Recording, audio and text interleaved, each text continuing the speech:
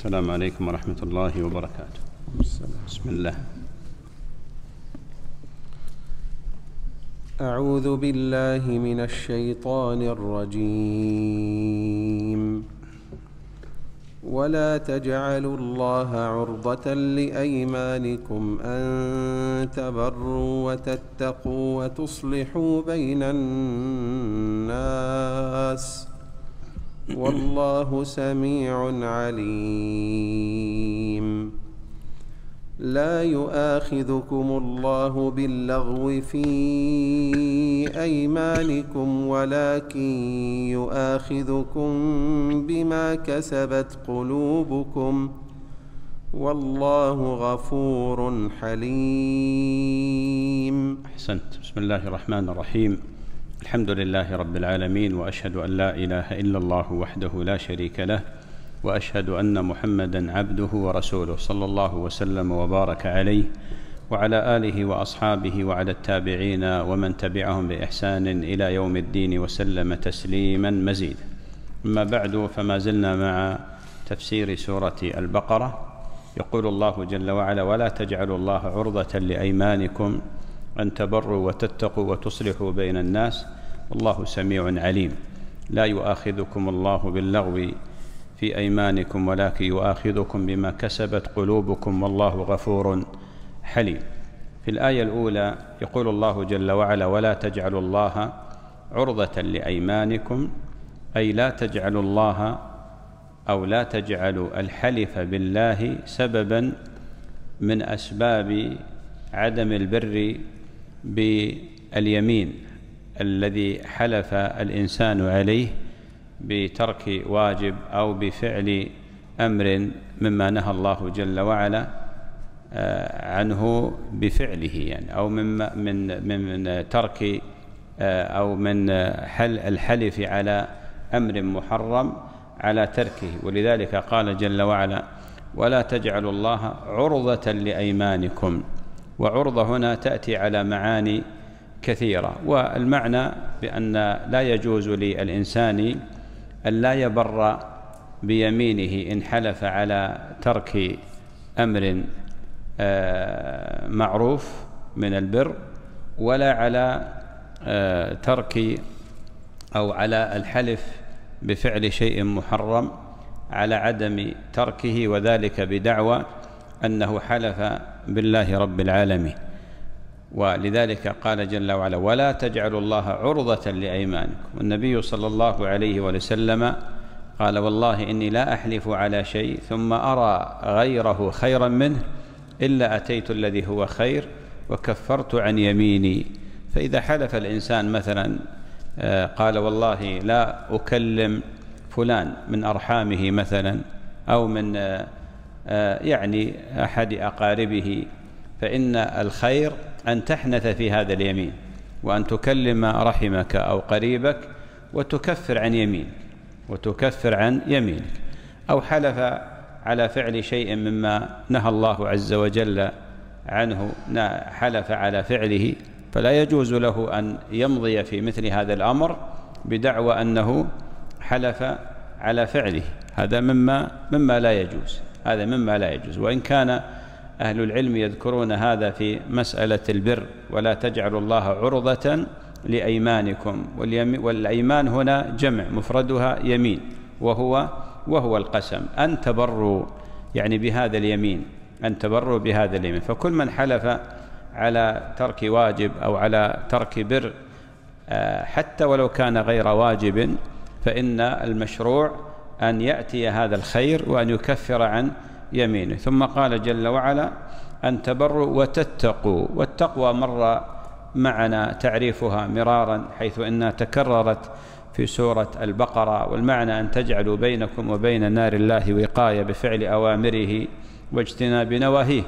ثم قال وتصلحوا بين الناس وتصلحوا بين الناس. والمعنى أن الإنسان لا ينبغي له إذا حلف على شيء من أمور البر والخير أن يقول أنا حلفت ولا يمكن أن أفعل ولا يمكن أن أفعل بل يأتي الذي هو خير ويتقي الله ويصلح بين الناس. ثم قال تعالى والله سميع عليم سميع لأقوالكم عليم بما بما في قلوبكم.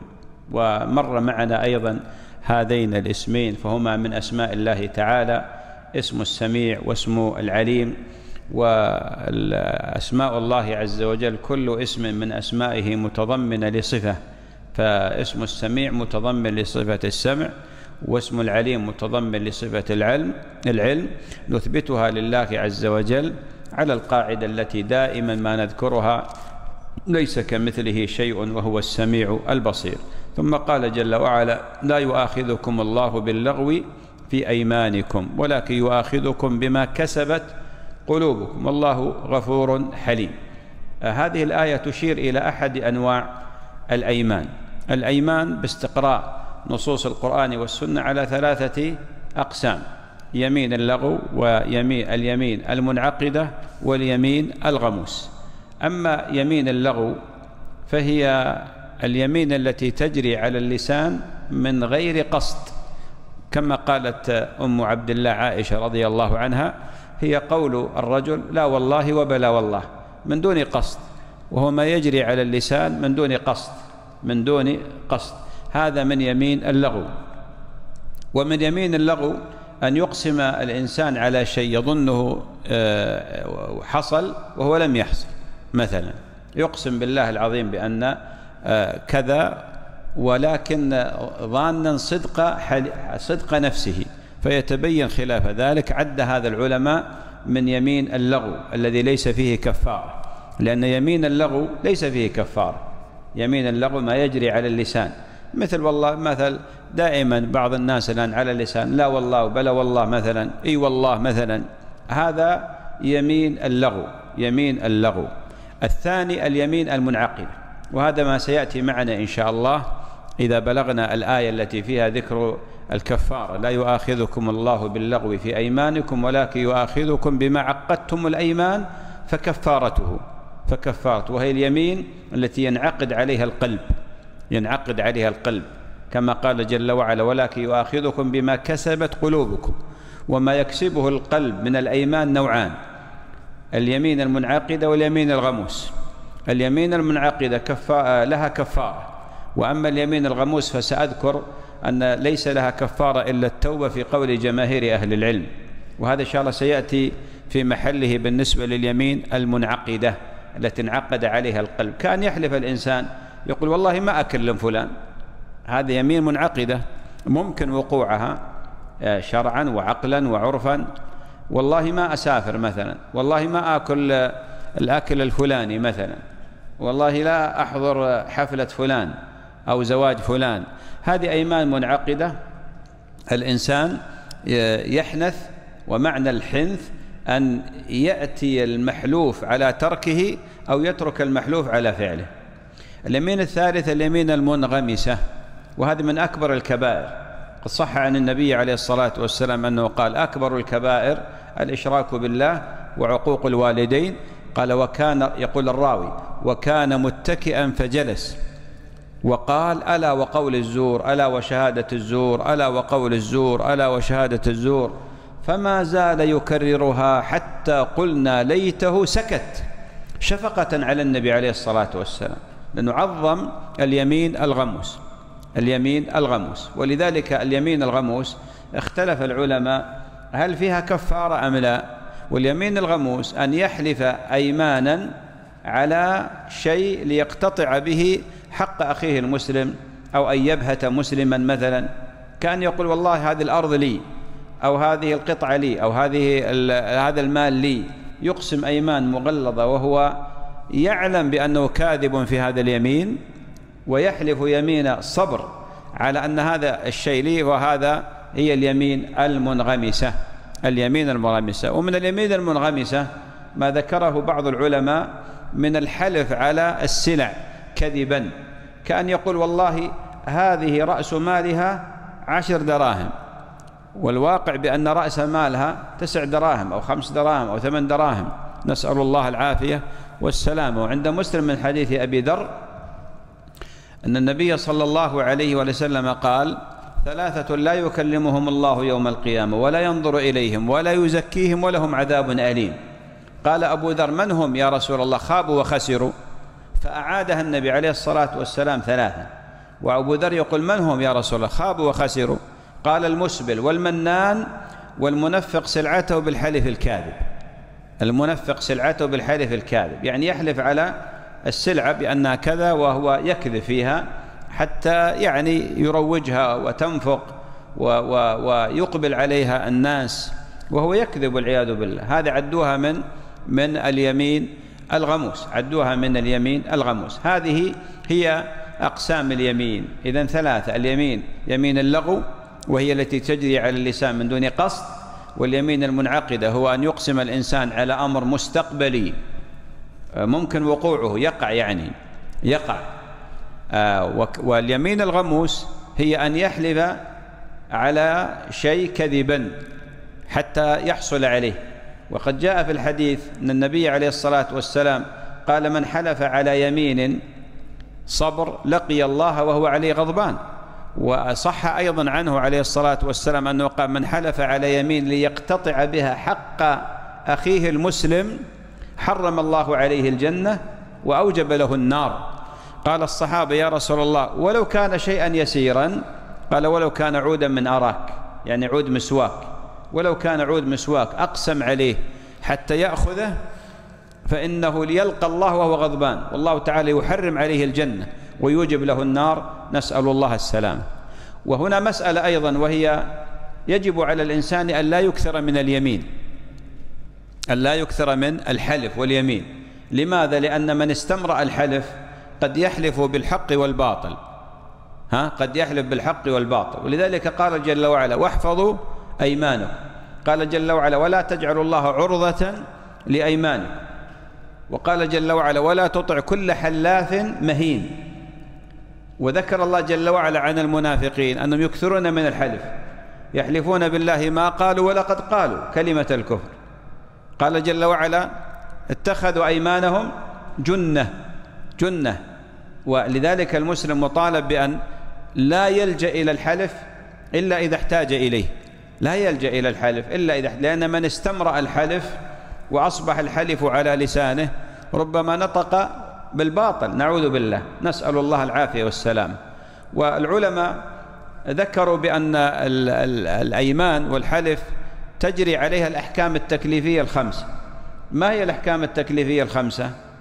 ها؟ الوجوب أو الواجب الوجوب والندب والحراء والمحرم والمكروه والمباح قالوا تجري عليها الأحكام التكليفية الخمس. فقد يكون الحلف واجبا. يجب عليك أن تقسم وأن تحلف. متى؟ إذا كان فيه إنقاذ نفس معصومة. أو مال معصوم مثلا. أو تدفع عن نفسك آه، تهمة.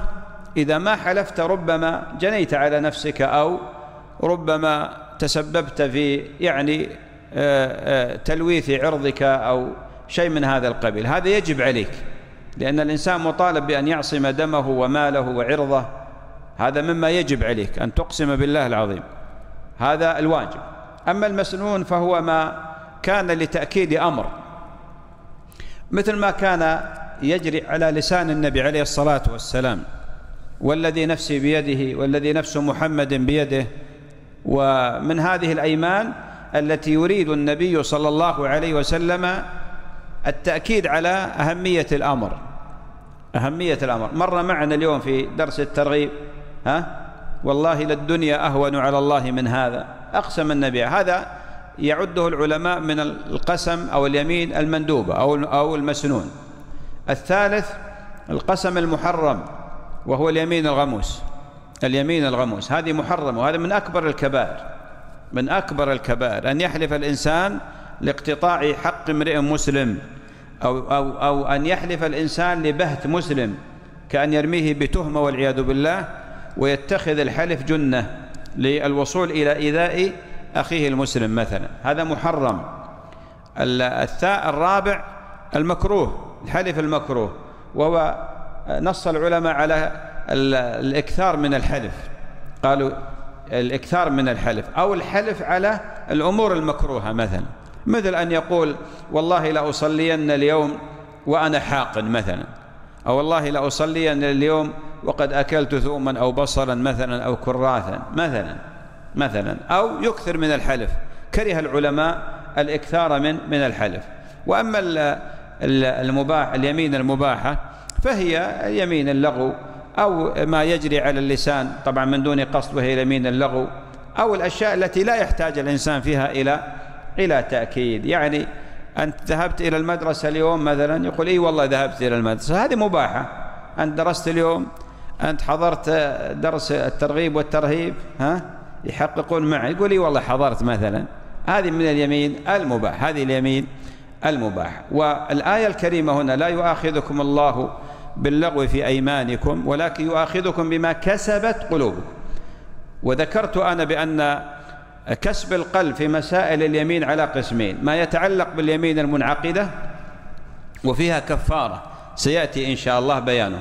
وما يتعلق باليمين الغموس والعياذ بالله وهذه اليمين اختلف العلماء هل لها كفارة ككفارة اليمين المنعقدة أم لا؟ جماهير أهل العلم ذهبوا إلى أن اليمين الغموس لا يكفرها شيء إلا التوبة وأن يكذب نفسه أو يعيد الحق إلى أصحابه. حلف على اقتطاع حق امرئ مسلم يتوب إلى الله عز وجل بإرجاع الحق إلى أصحابه مع شروط التوبة الثلاثة. بهت مسلما قذف مثلا أو بهت حلف على مسلم فاتهمه يتوب إلى الله عز وجل بالشروط الثلاثة وأن يكذب نفسه. يقول افتريت عليه كذبت عليه ما ما قلته غير صحيح. هذا هو الذي آه، آه، هذا هذه كفارة اليمين الغموس. اليمين الغموس. وذهب بعض أهل العلم بأن اليمين الغموس من كسب القلب ولذلك فيها كفارة والكفارة مثل الكفارة مثل كفارة اليمين. المنعقدة مثل كفارة اليمين. المنعقدة والصواب ما ذهب إليه جماهير أهل العلم ثم ختم الله جل وعلا الآية بقوله والله غفور حليم. وانظر إلى ختم الآية بهذين الاسمين العظيمين. غفور لما صدر منكم من يمين ثم كفرتم عنها آه، بعد أن آه، آه، بعد أن أخرجتم الكفارة. ويجوز إخراج الكفارة قبل الحنث في اليمين وغفور أيضا لمن تاب من اليمين الغموس وأيضا حليم سبحانه وتعالى وهذا اسم من أسمائه جل وعلا وأيضا فيه صفة الحلم. حليم لما يصدر من العباد فمن الناس من إذا أقسم قسما يكاد يظلم ما, ما, ما بين السماء والأرض وهو فيها كاذب. والله تعالى يعفو ويحلم ويغفر ويغفر سبحانه. وتعالى. نكتفي بهذا القدر وصلى الله وسلم وبارك على عبده ونبيه محمد.